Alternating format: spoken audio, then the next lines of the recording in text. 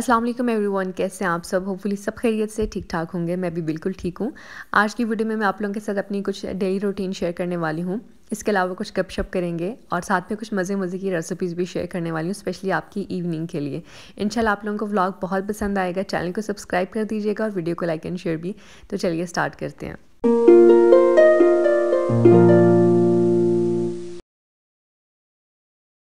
अच्छा कल ना मैं गई थी मार्केट और मुझे ना एक स्टैंड पसंद आ गया। ये वाला स्टैंड मैं लेके आई थी ऑयल वाली बॉटल्स के लिए और ये जब मैं ले रही थी ना तो मम्मा मुझे कह रही कि, कि तुम्हारे ऑयल वाली बॉटल वाले मसले आज तक हल नहीं हुए कि उसके लिए मैं ये स्टैंड ले लूँ उसके लिए मैं ये वाली बॉटल ले लूँ। असल में मेरा मसला ये कि मुझे ना ऑयल और घी किचन में इस पड़ा हुआ और वहाँ पर ना सारी चिकनाई हुई बहुत बुरी लगती है। मेरा ज़्यादा जो सुबह किचन में टाइम लगता है ना, वो इसी चीज़ की क्लीनिंग में लगता है।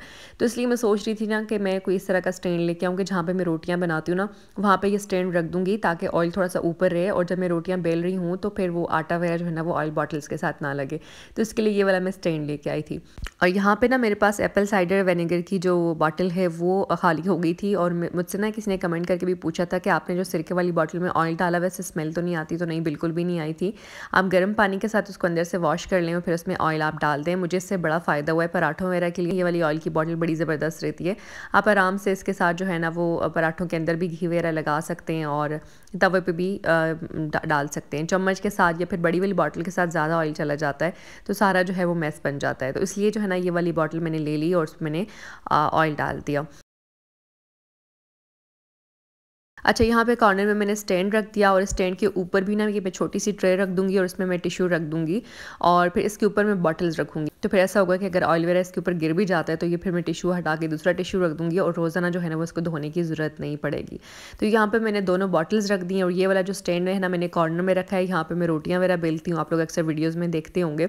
तो ऑयल बॉटल्स जो है ना, वो नीचे शेल्फ पर पड़ी होती थी, वो जैसे ही मैं रोटी बेलती ना तो वो सारा जो आटा है ना, वो बॉटल्स पर लग जाता था। अच्छा तो इस ट्रेन के ऊपर भी जो है ना वो अच्छी खासी चीज़ें आ गई हैं और इसके नीचे भी काफ़ी ज़्यादा सारी स्पेस है। आप चाहें तो फिर इसमें ये आटे वाला, जो खुशके वाला हमारा बर्तन होता है ना, ये भी आप रख सकते हैं।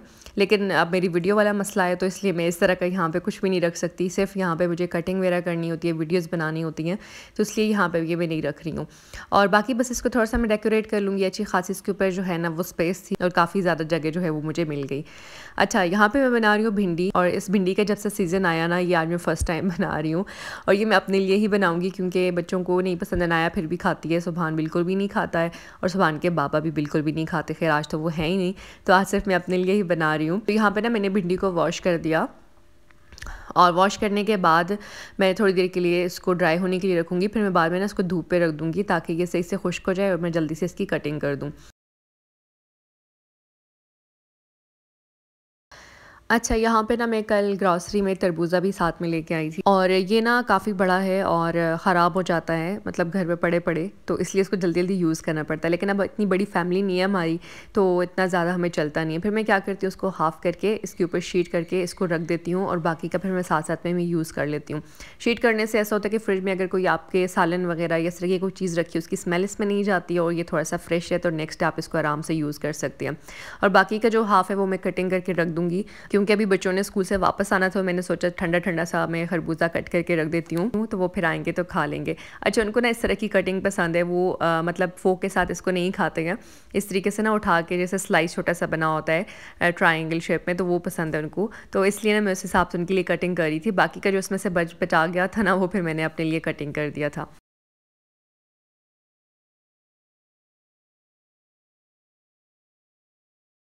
अच्छा आज मुझे आप लोगों के साथ शेयर करना था कि एक बड़ी ख़बर है कि मेरे हस्बैंड जो हैं वो चले गए सऊदिया। आप लोगों को पता है, अक्सर आप उनको वीडियोस में भी देखते रहे हैं कि वो अक्सर मेरी हेल्प कराते थे या फिर मैं उनको वीडियोस में भी लेके आती थी।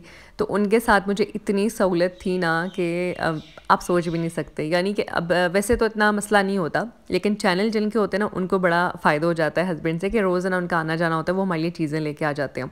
अब बाकी की ग्रॉसरी तो मैं कर लूँगी वीकली ग्रॉसरी भी मैं कर लूँगी। लेकिन जो मुझे रेगुलर अपने चैनल के लिए अपनी वीडियोज़ के जो चीज़ें चाहिए होंगी ना, वो मुझे बड़ा मसला हो गया कि मुझे अब कौन ला के देगा।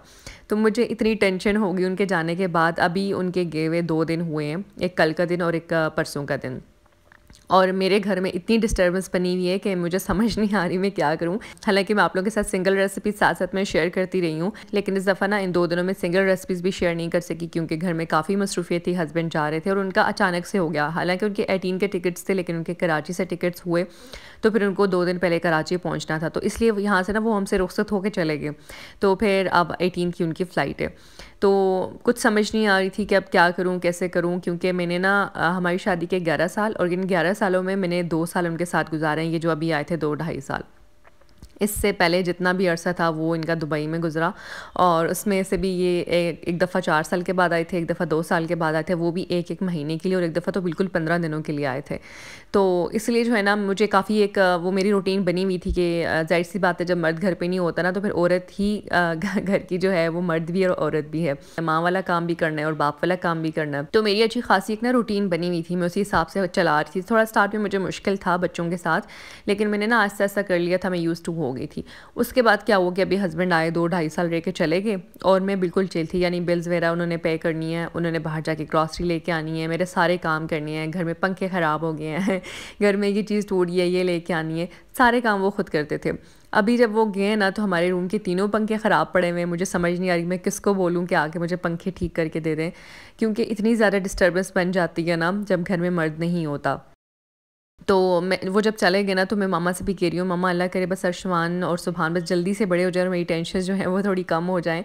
क्योंकि अभी वो बिल्कुल छोटे छोटे हैं, उनको मैं सब्ज़ी और फ्रूट्स तरह के लिए भी इवन के नहीं भेज सकती हूँ। सब्ज़ी और फ्रूट्स तो बहुत दूर, वो ट्यूशन के लिए भी जाते हैं ना तो फिर मैं उनके पीछे पीछे जाती हूँ, उनको रिसीव करना उनको छोड़ के आना ये सारे काम भी मैं खुद करती हूँ, क्योंकि अभी बच्चे बहुत ज़्यादा छोटे हैं। तो फिर मुझे आप लोग बताइएगा ये जो जिनके हस्बैंड जो है ना, वो बाहर होते हैं दूसरे कंट्रीज़ में हैं तो वो घर का कैसे मैनेज करती हैं ये सब? मुझे आप लोगों ने टिप्स देनी है, लाजमी वैसे मुझे अच्छा खासा एक्सपीरियंस है इस चीज़ में, लेकिन अभी थोड़ा सा मुश्किल इसलिए भी लग रहा है ना, क्योंकि हस्बैंड अब नहीं होंगे और सारा मुझे करना पड़ेगा और दो ढाई साल उन्होंने किया हुआ है तो अब जो है ना मुझे समझ नहीं आ रही कि मैं कैसे ये सब करूँगी। तो आप लोग मुझे ना साथ साथ में टिप्स देते जाइएगा मुझे क्या करना है, और मज़े की बात यह कि हम लोग ऐसे एरिया में रह रहे हैं जहाँ पर इन सब चीज़ों की इतनी टेंशन होती है ना, यानी कि काफ़ी दूर दूर दूर होती हैं और हमें गाड़ी में जो है जाना पड़ता है ये चीज़ें लेने के लिए। क्योंकि मेरे बा, बाबा भी हैं मेरे ससुर भी हैं जेठ भी हैं लेकिन सबके अपने मसले मसाइल हैं। मुझे तो कह रहे थे कि तुम बिल्कुल रिलैक्स हो जाओ हमें बता दिया करो हम खुद कर लेंगे। लेकिन मैंने भी उनको ये कहा कि ये एक दो दिन की बात तो है नहीं कि आप मेरी ज़िम्मेदारी उठा लेंगे। अब पता नहीं उन्होंने कब आना है दो साल के बाद आना है तीन साल के बाद आना है तो मैं खुद ही अपना देख लूँगी। क्योंकि मैं मेरी खुद भी ये आदत है मैंने किसी के ऊपर टेंशन नहीं डालनी है। अभी हस्बैंड जब बाहर जा रहे थे हमारे वीज़ा में काफ़ी प्रॉब्लम्स आ गई मैंने किसी को कुछ नहीं बताया और मैंने सारा सॉर्ट आउट कर दिया बग़ैर बताए किसी को। और जब उनका सारा मसला वहाँ पे हल हुआ और मतलब वो उन्होंने वहाँ की फ़्लाइट पकड़ ली, उसके बाद जो है ना मैंने सबसे डिस्कस किया कि हमारे वीज़ा में ये ये प्रॉब्लम्स हुई थी और अब ये सब कुछ ठीक हो गया तो सब हैरान कि तुम अकेले कैसे कर लिया? क्योंकि बस मेरा भी था ना कि मैं मैं बस अकेले ही ठीक हूँ, मैं खुद सब मैनेज कर लूँगी, हम क्यों किसी को अपनी वजह से इतना प्रॉब्लम में डालें? क्योंकि हर बंदे के ना अपने मसले मसाइल होते हैं। आजकल हर घर में अपनी टेंशन हैं, अपनी हर मर्द जो है वह बमुश्किल अपने घर को चला रहा है, अपने घर को टाइम दे रहा है। तो क्या मेरी ज़िम्मेदारी उठाएगा? तो इसलिए मैंने सोचा कि अब जो है ना वो मुझे अपने एक स्केड्यूल बनाना है कि मुझे घर को कैसे देखना है, बाहर का काम कैसे करना है, सारा वो उस हिसाब से मुझे करना पड़ेगा। लेकिन आप लोग भी ना मुझे साथ साथ में टिप्स ज़रूर देते जाइएगा कि मुझे क्या क्या करना है।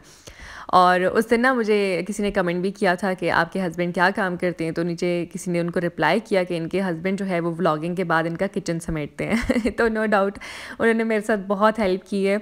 आ, हम दोनों ने एक दूसरे को बहुत सपोर्ट किया है क्योंकि उनको पता था ये भी मेहनत करी है और घर को भी देख रही है साथ में बच्चों को भी देख रही है तो इसलिए वो मेरी काफ़ी हेल्प करते थे। अभी सबसे बड़ा मसला ये है ना कि मैं वीडियोस तब बनाती थी जब अर्शमान को वो उठा के ले जाते थे यानी अर्शमान ज़्यादा टाइम अपने बाबा के साथ स्पेंड करता था तो मुझे काफ़ी टाइम मिल जाता था कि मैं आराम से जो है ना वो आ, अपनी वीडियोज़ बना सकूँ। अभी एक साइड पर अर्शमान खड़ा होता है और एक साइड पर मेरी वीडियोज़ बन रही होती हैं।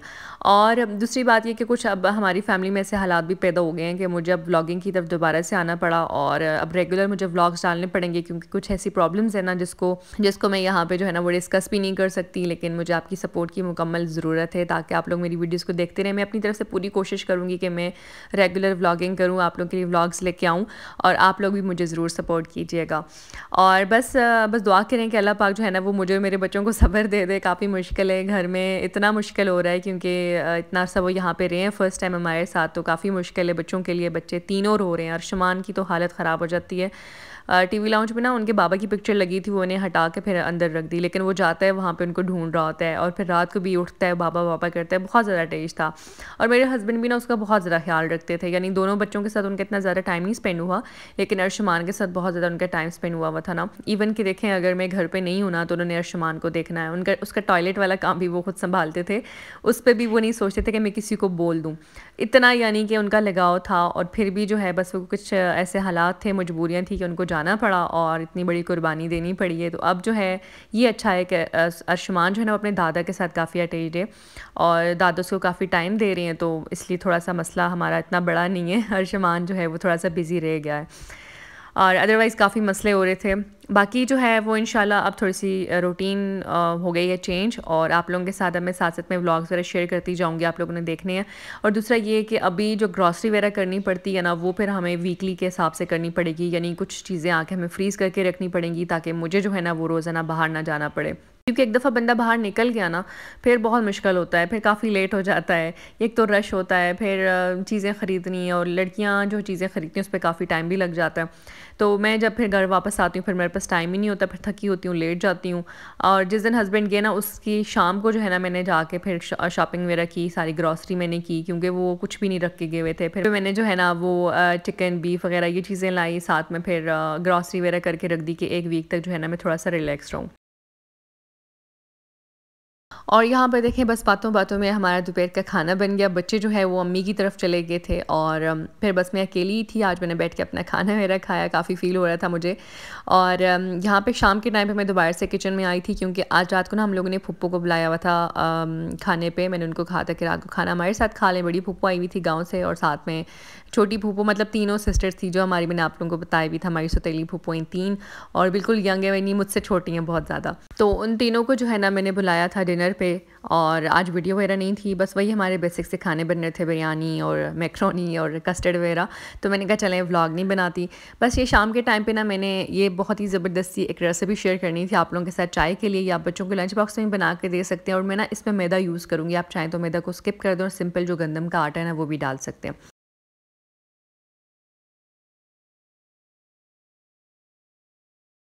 अच्छा यहाँ पे हम ले लेंगे बटर तकरीबन एक कप के करीब, यानी मेल्ट करेंगे ना तो वो एक कप बनेगा। और ये मेरे पास फ्रीज़ हुआ हुआ था, इसलिए मुझे कटिंग में थोड़ा सा मसला हो रहा था तो हम इसको कट करेंगे और इसको माइक्रोवेव करेंगे तकरीबन एक से डेढ़ मिनट के लिए, ताकि ये मेल्ट हो जाए। बहुत ज़्यादा इसको मेल्ट नहीं कर लेना, बिल्कुल लिक्विड नहीं कर लेना हल्का हल्का सोना चाहिए, ताकि जब हम इसको बीट करें ना, ये थोड़ा सा फ्लफ़ी हो जाए।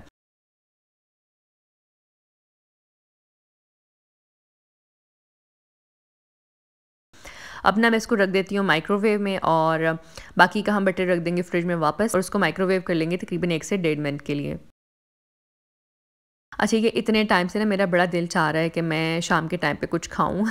हालाँकि आजकल चाय का वो वाला, वो टेस्ट नहीं आता क्योंकि गर्मी ज़्यादा है ना तो सर्दियों में चाय का ज़्यादा मज़ा आता है। तो फिर भी मैं तो पीती हूँ। तो इसलिए मैं सोच रही थी कि ना शाम में चाय के साथ कुछ ना कुछ लाजमी होना चाहिए। तो मैंने सोचा, चलें बना के रख लेते हैं। कुछ दिन चल जाएगा और बच्चे लंच में भी ले जाएँगे। अच्छा यहाँ पर बटर मेल्ट हो गया था। एक कप हम यहाँ पर ले ले लेंगे बटर और इसमें हम डाल देंगे शुगर शुगर आप अपने हिसाब से डाल देंगे। दो कप इसमें हम मैदा डालेंगे। तो उसके साथ ना आप एक कप भी डाल डाल सकते हैं चीनी का। और चीनी अगर आप इसको शुगर फ्री बनाना चाहते हैं यानी आप इसमें चीनी वगैरह नहीं डालना चाहते तो फिर आप चीनी को स्किप कर दें, या बिल्कुल थोड़ी सी डाल दें अपने हिसाब से। घर में बनाने का यही फ़ायदा है कि बंदा अपने हिसाब से इसमें शुगर कम या ज़्यादा रख सकता है। अच्छा यहाँ पे मैंने बटर और शुगर दोनों को अच्छे से बीट कर दिया, इतना कि ये थोड़े से फ्लफ़ी हो गए।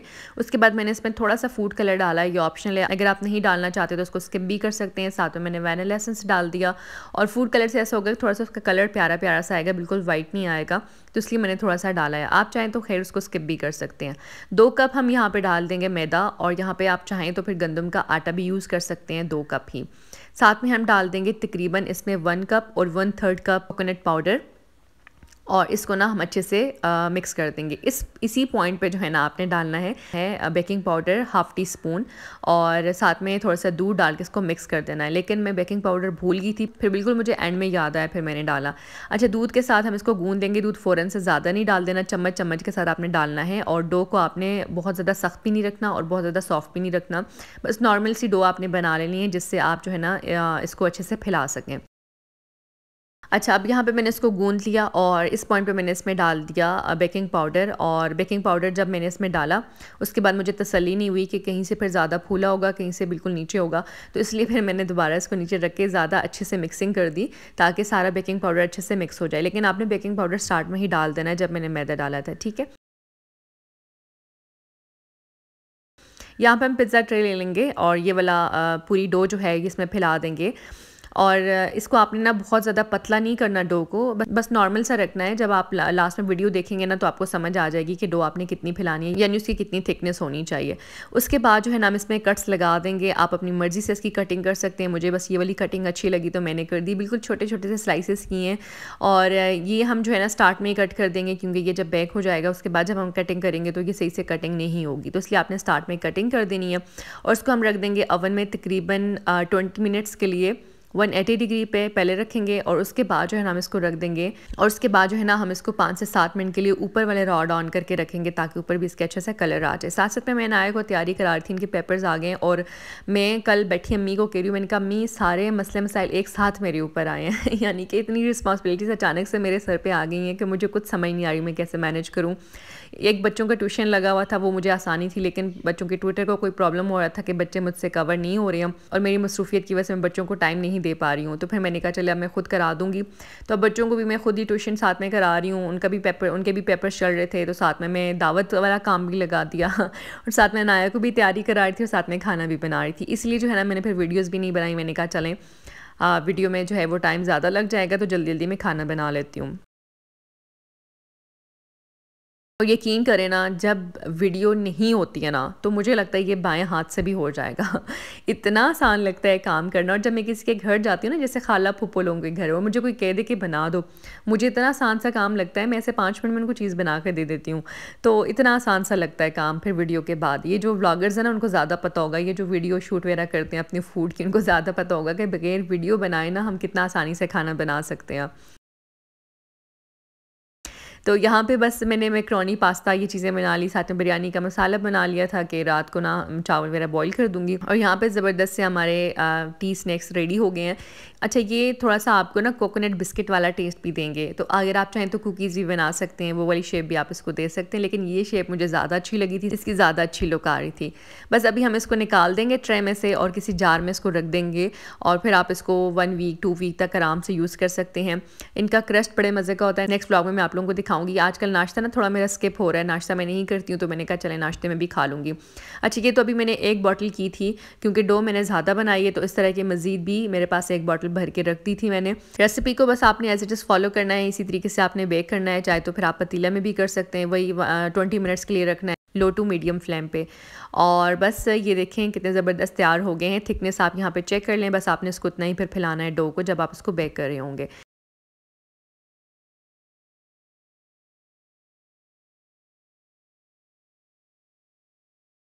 तो बस यही था मेरा आज का व्लॉग होप सो कि अच्छा लगोगा. अपना बहुत सारा ख्याल रखिएगा. इंशाल्लाह मिलते हैं. अल्लाह हाफिज़.